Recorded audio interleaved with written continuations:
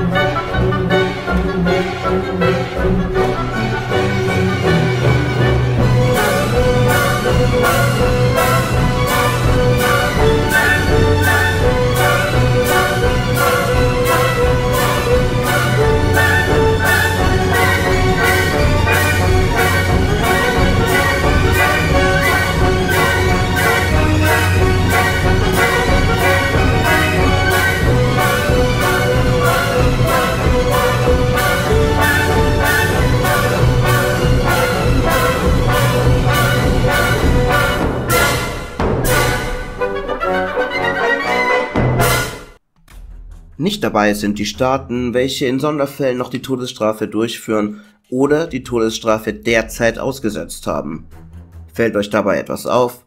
Mal abgesehen von den Ländern, von denen ich selber nie zuvor etwas gehört habe, sind fast alles afrikanische, arabische und asiatische Länder. Woran das liegt? Ehrlich gesagt, ich weiß es nicht mit Sicherheit, doch ich kann nur vermuten, dass es zum Teil am islamischen Glauben liegt, der in vielen dieser Länder die Gesetze mitbestimmt. Eine Trennung von Staat und Religion ist dort kaum bis gar nicht vorhanden. Oftmals findet man die Todesstrafe auch in Ländern, die diktatorisch regiert werden. Aber wie gesagt, da kann ich nur Vermutungen anstellen. Die häufigsten Methoden der Hinrichtung sind Enthauptung, unter anderem praktiziert in Saudi-Arabien, Erhängen, oftmals in Ländern Afrikas und des Nahen Ostens verbreitet, Tödliche Injektion, angewendet unter anderem in den USA, China und Vietnam, und Erschießung, verbreitet sowohl in Teilen Afrikas und Asiens. Diese Strafen werden für als besonders schwer angesehene Verbrechen angewendet. Das wären in den USA und Japan vor allem Mord. In anderen Ländern ist bewaffneter Raub, Ehebruch, Vergewaltigung und Korruption mit dem Tode zu bestrafen sowie in manchen Ländern Drogendelikte. In einigen islamisch geprägten Ländern genügt schon der Abfall vom Glauben oder Homosexualität als todeswürdig. Doch warum genau bin ich gegen die Todesstrafe? Der erste sehr wichtige Punkt ist einfach. Laut Spiegel Online sind bis zu 4% der zum Tode Verurteilten in den USA unschuldig wie grausam muss es für einen Menschen sein, unschuldig Jahre oder Jahrzehnte im Todestrakt zu sitzen und zu wissen, dass man für ein Verbrechen hingerichtet werden soll, welches man nicht mal begangen hat. Klar, es gibt sicher deutlich mehr Menschen, welche zu Recht schuldig gesprochen wurden, doch muss es denn gleich die Todesstrafe sein? Auch in Deutschland wurden schon Personen unschuldig wegen Mordes bzw. wegen Tötungsdelikten verurteilt. Dazu möchte ich gerne zwei der bekannteren Fälle kurz ansprechen. Der Landwirt Rudolf Rupp verschwand am 13. Oktober 2001 spurlos nach einem Wirtshausbesuch. Die Ehefrau und der Ex-Freund einer der Töchter wurden ohne klare Beweise zu je 8,5 Jahren verurteilt. Die Töchter, zur angeblichen Tatzeit 15 und 16 Jahre alt, erhielten zweieinhalb und dreieinhalb Jahre Jugendstrafe wegen Beihilfe.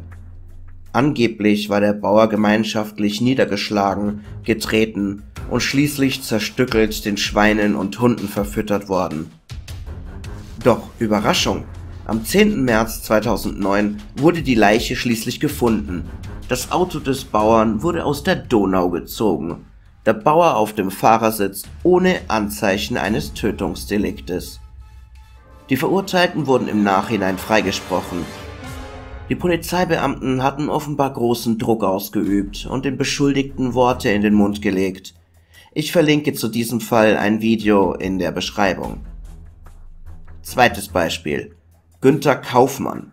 Ein deutscher Schauspieler wurde am 27. November 2002 aufgrund eines falschen Geständnisses wegen versuchter schwerer räuberischer Erpressung mit Todesfolge zu 15 Jahren Haft verurteilt. Das Geständnis war zum Teil durch Druck der Ermittler entstanden.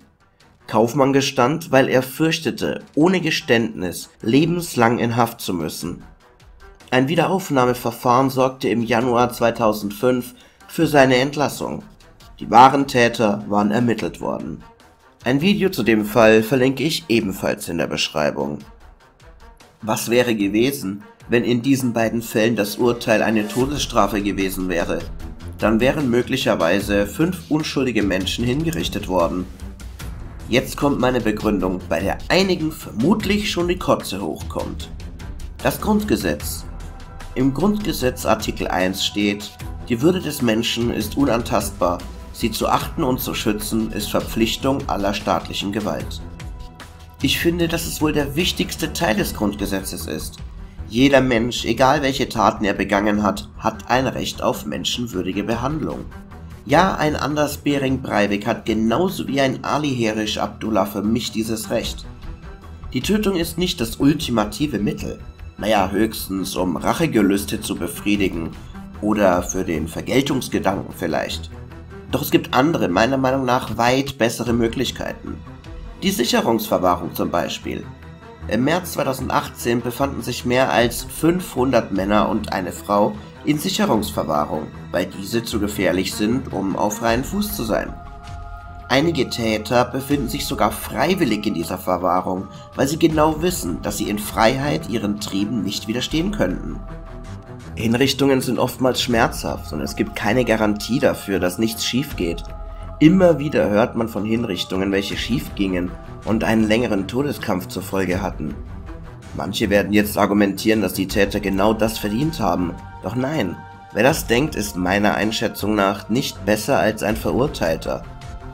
Ich weiß auch genau, dass einige argumentieren werden, dass ich anders denken würde, wenn meine Verlobte oder meine Kinder die Opfer wären. Da stimme ich sogar zu.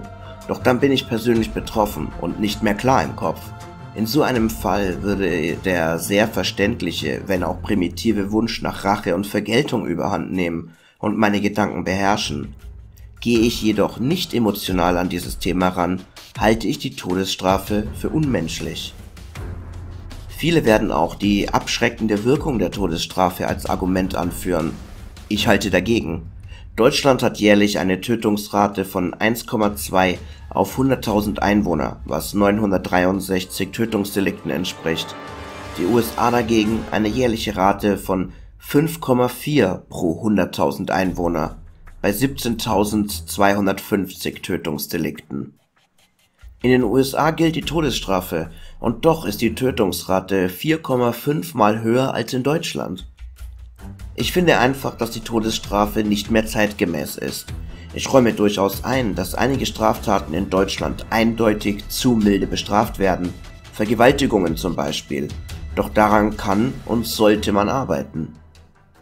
Abschließend kann ich noch dazu sagen, ich bin ein Befürworter für härtere Strafen bei Korruption, Bestechlichkeit, Veruntreuung, Vergewaltigung und dergleichen.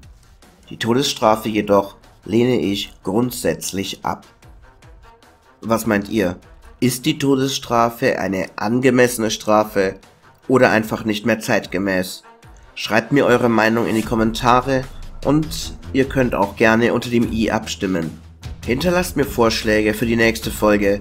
Servus und bis bald.